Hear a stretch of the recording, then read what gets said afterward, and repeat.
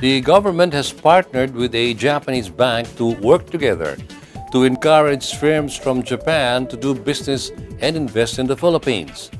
Our business reporter Andre Ko has the story.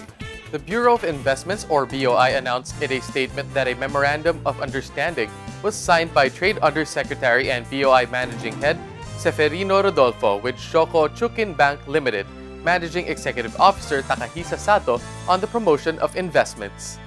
Through the MOU, both parties will collaborate in the promotion of investment opportunities through the conduct of seminars and missions, exchange of information on doing business and industry structures, and undertaking other efforts that will enable economic and industrial linkages between investors and corporations from Japan and the Philippines.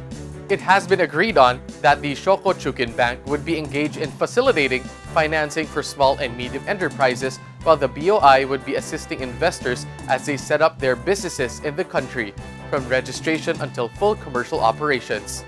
Japan is the country's largest source of foreign direct investments or FDI to the Philippines. FDIs from Japan reached $634.67 million last year, up from $569.75 million in 2016.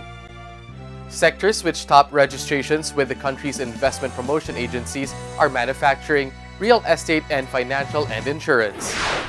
The government also sees this as a way to partner with Japanese banks for institutional rapport, since the interest of Japanese firms to invest in the Philippines is likewise growing.